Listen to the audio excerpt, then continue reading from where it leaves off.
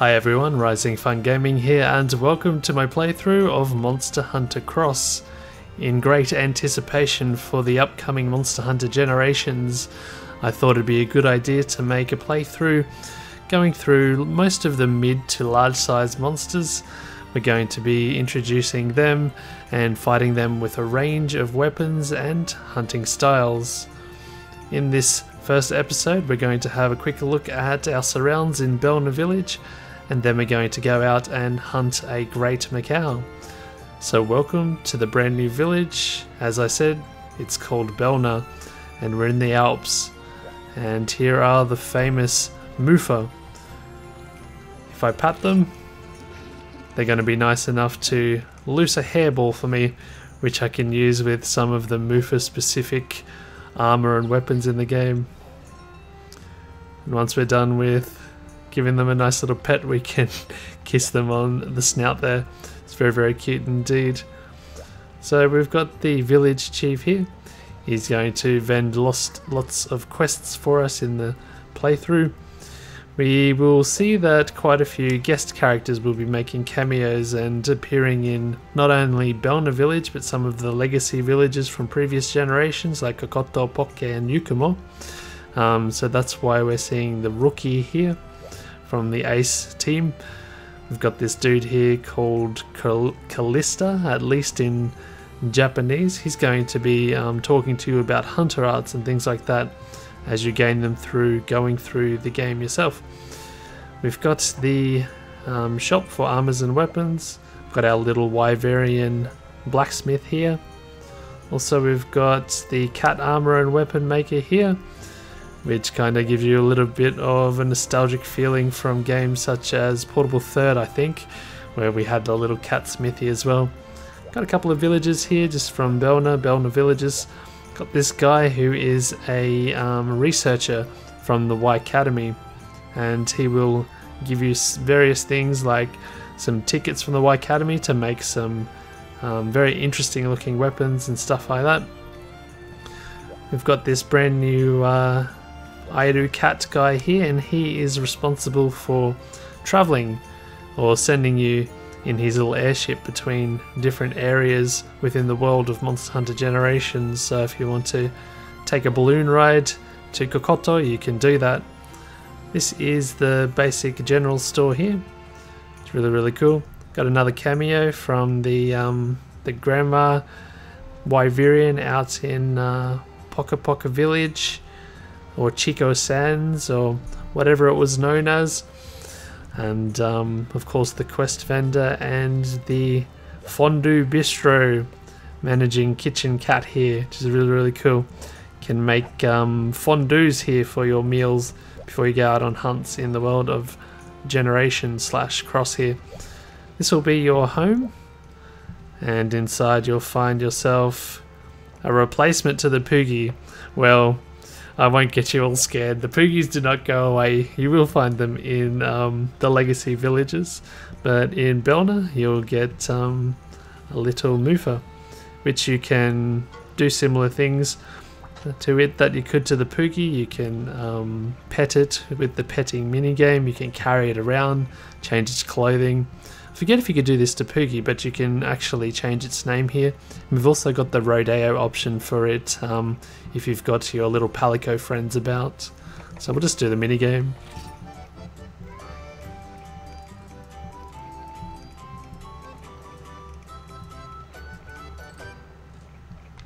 There you go. You always have to wait for that exclamation point to come out. It's a little bit after the music stops, but he's very, very cute. And the guild is here not because she's making a little uh, visit to the village, it's because I can set her up as my custom room attendant. Uh, you can change between, I think, four or five towards the end of the game.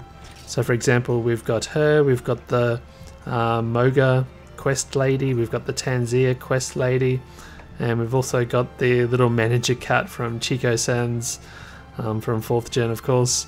So you can change those if you'd like to. You've got your item and armor box as always. Here is the Palico or Nyanta board here and you can do various things such as change from hunter mode to Nyanta mode, so you can become the Nyanta. You can um, choose which uh, cat you have in your um, stable of cats, I'm going to say, um, to be the Nyanta character. You can also choose things like the palicos that will come along with you. Whether you're a Nyanta or a hunter, this will be the cats that come with you to help you out. Um, you can choose their support abilities, their passive skills, their equipment, various other things like that. Here's the bed, and I'll go to sleep here just to show off the animation of Fenny here. It's really cute. Does that big flip onto the bed. And we get a little Fenny as our loading screen animation, which is a really nice touch. It's very, very cute. Okay. Only other thing I'd like to remark about the village is, of course, we've got the uh, little post cat guy as well. On the outskirts, we've got a separate area with many um, very, very handy things. We've got good old uh, Kenyan Maru, who you might recognize from 3 Ultimate. Now, he does lots of things for you. Um, you can commission him to send some cats out on farming runs and stuff like that. So, for example, we've got three cats out on runs. Um, the number of carts you can send out will increase as you progress through the game. The other big thing that he does is exchanging the Wycademy points for various goods. We've got some sword and shield blade coatings there, hunter art drink, amongst other things. There's also these other items you can purchase as well. I think what were those? Oh, they're like titles for your guild card. You've got guild card backgrounds, things like that. You've also got pet clothing, but this is grayed out because there's no more to buy, as I've bought them all. And then, of course, you've got the all-important tickets that you buy in order to um, take part in the Deviant monster quests. So he's got many functions for you out here. Next to the balloon here, we've got good old Nyanto Sama. Uh, that's what they call him in the Japanese and you can do a little mini game for the Meowster Hunters, the Monyanbu. And what's happening here is we're just getting some cats coming back from a um, materials run to go get some iron for me.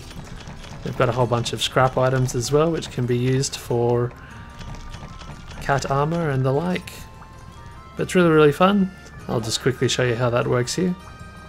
So basically, you choose which area you want to go to. There's a low and a high rank. I won't be going through the specifics here. You've got rare and warning. That just means some other monsters can appear.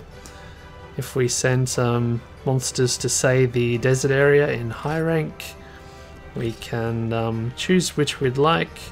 I'm going to choose a couple of yellow and a couple of red fighters and you'll see why in a second. Okay, on the map we've got all these zones and the color of the trend or the, um, I guess the fighting or skill type of the cat. You'll see that I've, um, I got two yellows and two reds before. If those colors match, um, they'll be able to pick up or carve off or otherwise extract um, items and monster carves from the same colored area zone there. So if I shoot a couple of yellow cats to the Seregios, zone here, what you're not seeing in the uh, bottom screen is a cannon mini game. You're aiming left to right. So let me just um, bring that up for you now. There we go. And you've got your power. So to get it to the Najarala, let's do low power. Very nice shot. So good, we've got a couple of red cats there.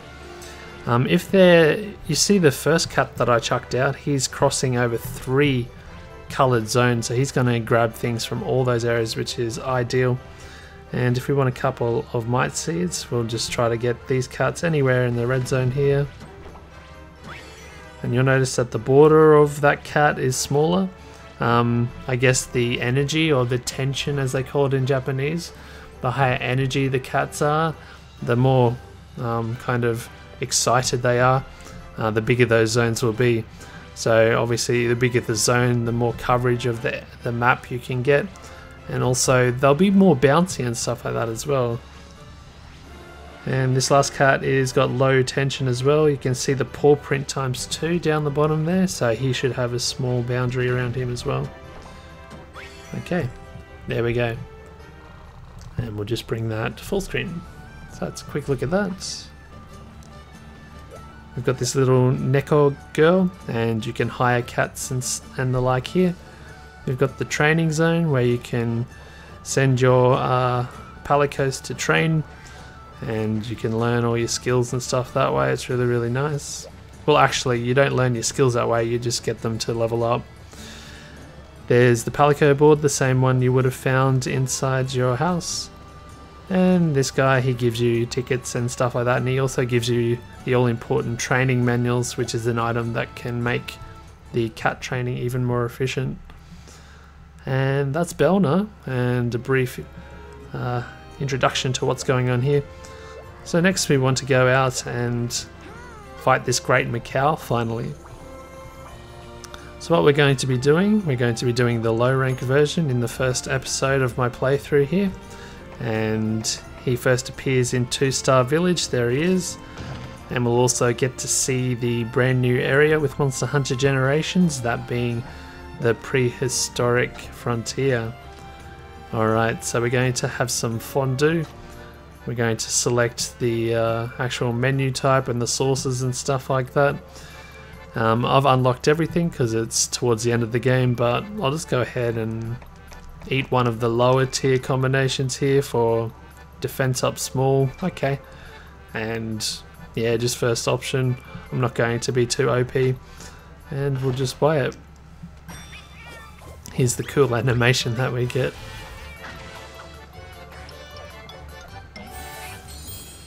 So yeah, they you can order the different ingredients you want on your skewer, you dip it in the fondue, you've got a different sauce, and that's pretty much the system. It's it's pretty in-depth actually, it can get pretty complicated. But anyway, um, before we go out, we'll just check our items here. Going to get rid of that because I'm very low on those Mega Dash juices. We'll bring some well done steaks. Alright, and this is where we go out into the big wide world. Quickly before we go out, I'll just quickly show my gear. This is the Bherna longsword. This is the starting series, as uh, is the armor set here. Got all level 1 pieces here, so as not to be OP. I've got this talisman on, which I didn't mean to have, but it's going to give me 13 points to artillery, which isn't going to be coming into play whatsoever. Now the hunter, I mean the active skill that we get with this set is Divine Protection. We've also got six points to, um, what's it called? Maestro. Probably because, I don't know, you're an alpine man and you blow those big horns or something. I wonder why they put Maestro on that set. But anyway, welcome. Here we are finally to the Jurassic Frontier. I'm going to take away the cockpit view just for the initial parts of this. And as you can see we're definitely in this mountainous region. You can see we've probably come here via the balloon or blimp or maybe that's just set up for the overseer. Who knows? A little area to rest. Here's your um, bed and camp. And of course got this awesome big uh, it's called a telescope. I'm already forgetting. And we've got a good old returning character, good old Nyantaro. And should you want him to take care of some items, bring him back to camp for you if your uh, pouch is too full, you can give some stuff to him. then you just go ahead and tell him to go. And you get this nifty little animation.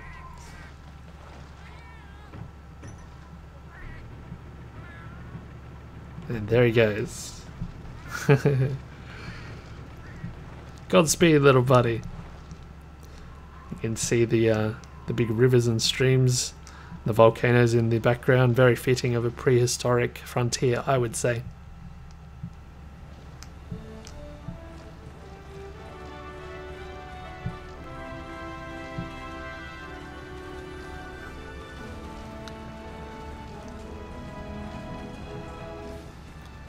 Now what I absolutely adore about not just entering the Jurassic Frontier, but any other map within the game, when you enter Area 1 they give you this very uplifting, awesome music just to introduce you to the fact that you're in these areas.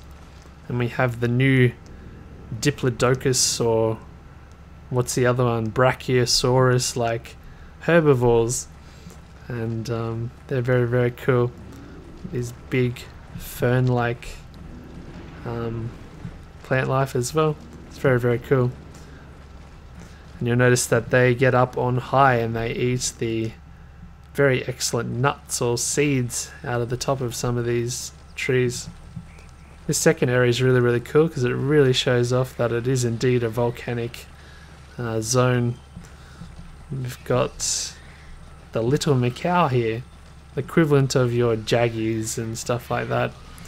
These are the uh, juvenile versions of the great Maccao, which we'll be fighting, and um, you can see them hopping around, playing around, accidentally whipping his little brother there, and they're uh, they're learning their moves from their big great Maccao brother, the big forward jump attacks, things like that. Alright, they're very cute. Just like the Jaggy, they can be called by the great version of themselves. They can be summoned.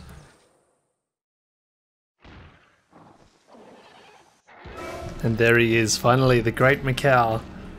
And um, what a monster he is.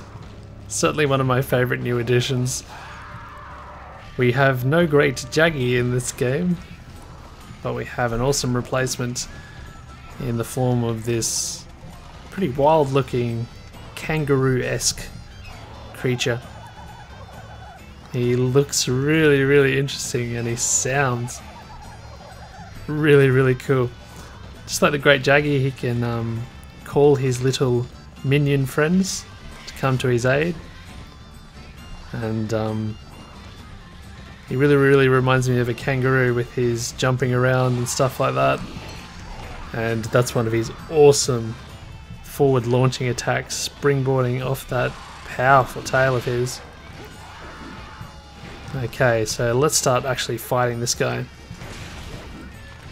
Now this fellow is weak to quite a few elements. The best element you could use against him is fire. But I don't think you'll be doing too much strategy to that end early on in the game. Maybe by the time you come around to his high rank version you'll look to select your elements. Stuff like that. But the areas you really want to be hitting on this guy are his tail and his head receiving massive damage from pretty much every damage type to those zones. Alright, that's one of the most fun things to do. He um, can go flying quite the distance when you um, hit him when he's on his tail. He's um, launching back on that old tail and generating a lot of potential energy for an incoming spring forward attack. If you interrupt him in the middle of that, that potential energy can um, be released in the form of a massive flinch, a very satisfying one for a hunter to um, induce. One of the things that is a pretty cool design about him oh, just with that, is the variation of things he does when he's on his tail. Is he going to jump forward? Is he going to jump back? Is he just going to stay there and kick the air? And um, that was quite funny. I believe, did he just... Yeah, he just killed one of his little buddies to get me my sub-target.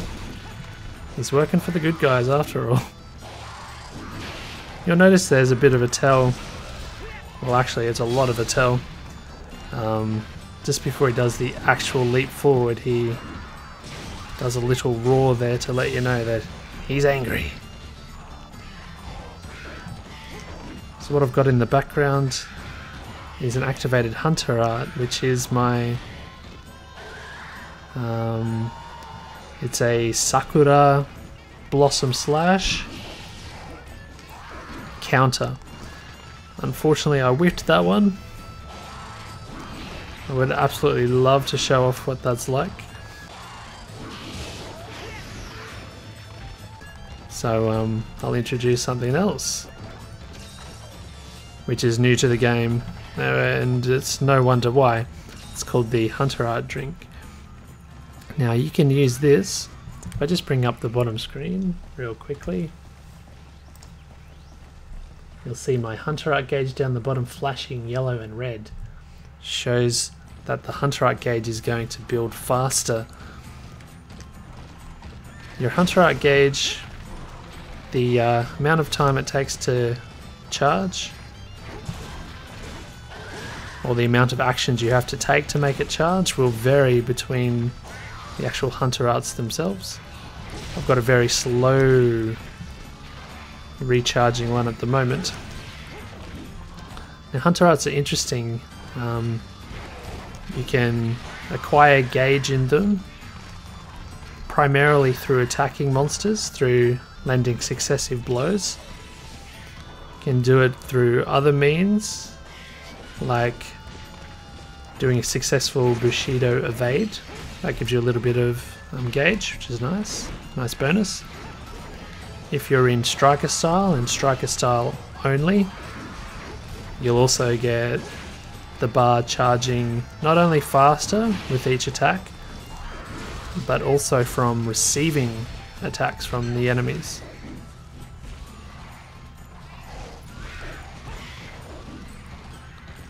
Now hopefully we can show off at least the head break in this fight.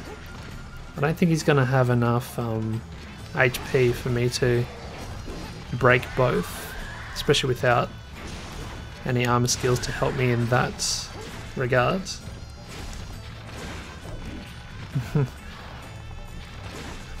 That's a pretty good attack of his where he just gets back on the tail and does a quick little one-two kick. The reason is when you're up close and personal, trying to lay in a combo flurry of attacks there. If you haven't flinched him, he can just really, really quickly get up there and get those one-two kicks into you before you've got a chance to really get out of the way through evading after your weapon movement. So you'll see me often getting done by that. And he's already got a limp, yeah. Being an introductory monster, he's not going to have a lot of defense. If you see him run to... Got his head again. To, I think it's area number 7. He'll go and eat an egg. Which I've got some footage of. And I'll show you in post, yeah. I'll put it up in the um, top right hand corner or something like that. It's really, really cool. But this is going to be his um, tired mode, his exhausted mode. The exhaust mode tends to last longer for monsters in this game versus in 4U, I find. Um, they'll be tired and panting and stuff for quite a while. But they'll break that up with um, doing attacks every now and then. Actually, this guy is having a pretty energetic uh, fatigued mode. A very energetic one. It's like he's trying to make a liar out of me. but he should be um should be stopping to have another pant in a sec, I would hope. Unless something has happened to make him break out of it. Yeah. Maybe because he's in his final moments, he's nearing death. He's got to summon those reserve batteries. Now I'll let him limp off. He would have done it anyway. He's going to go down to this next area down here where he sleeps. I'll give him a chance to sleep as well. Now I've currently got my Hunter Art charged once again.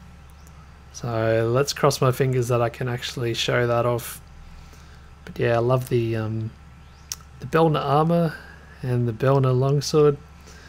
All the Bherna weapons seem to have been carved out of the mountain and out of the rock, and um, they're a very very good design. Some of them have fossils in them and stuff like that. You can probably see some sort of uh, plant life within the um, longsword there.